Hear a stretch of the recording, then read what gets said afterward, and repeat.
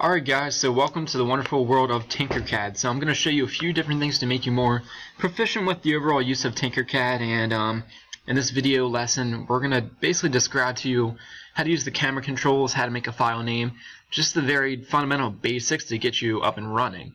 So the first thing I want you to do is the very first initial thing I want you to take care of is your file name. You need to change your file name now. In order to do that, all you need to do is go up here to the top side of Tinkercad and you click on, usually it gives you some kind of like gibberish for file name. I'm not exactly sure how this happens or why it works or an explanation behind it, but we can't exactly deal with that whenever we're dealing with saving files and creating new 3D files. It's just really confusing, especially when you try to send and submit something to me. I have no idea who it belongs to.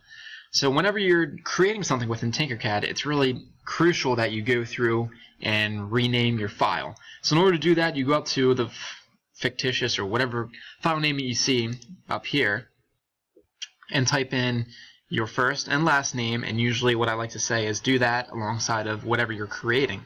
So for me I'm just going to put up here Mr. N and then a dash and if I'm making like maybe a phone stand or a minifig project, I type in whatever project it is that I'm making. And after you're done, all you need to do to save it is click on the outside, and as soon as that little box disappears, it should have saved your file. Um, the nice thing about Tinkercad is with everything, it's basically like a Google Doc in a way. Um, whenever you create an object or make manipulations or do anything within Tinkercad and a file, it auto saves. So 99% of the time it does so. There's always a 1% chance that it does have a small glitch, but normally we don't have to worry about that. Next thing we want to learn about are the camera controls. They're all located on the left hand side of the screen over here. So this box will come into play as well as all these little icons down here, which I will talk about in just a little bit. So first and foremost, whenever we're creating something in Tinkercad, remember we're creating a three-dimensional object.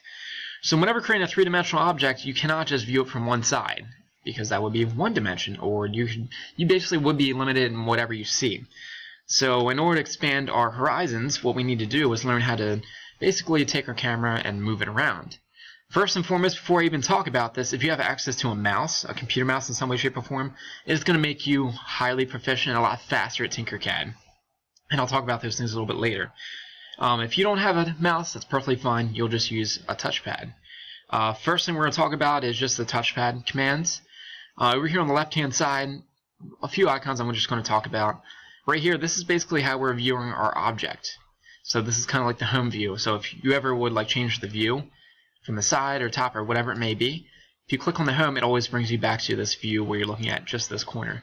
Wherever it's highlighted, if you click on that view, it'll take you to that exact view. So if I want to look at the top, I click on the top, um, the front side, or the corner, that side, just like that, and you just keep rotating around and it will show you different views. You can also click and hold and drag and it will go in different directions as well. Now if you want to do this with a mouse, all you do is simply right click and hold that right click down and drag your mouse around and it does the same exact thing. Touchpad, you cannot do that. Alright, next thing I want to teach you about is if you need to zoom in or zoom out, there's a few different things you can do. Right here on the left hand side, the plus and minus, they are your zoom in and zoom out buttons. If you click once, it zooms in one increment. You click the minus, it zooms out one increment at a time. You can also do this with your mouse using the roller. So if you have a roller on the top of your mouse, if you roll it in towards an object, it'll zoom in. Roll it out, the exact opposite, it rolls out. If you ever get in a situation where you want to go back to your home position, what we're going to call it, basically the first thing we saw initially, you click on this little house button, the home view, and it will take you exactly where you want to go.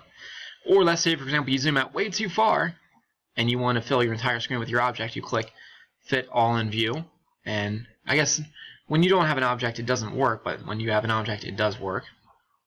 And you can also view it from like an isometric view or an orthographic view as well, if you need to. So those are the different views we basically will need to work on and work with.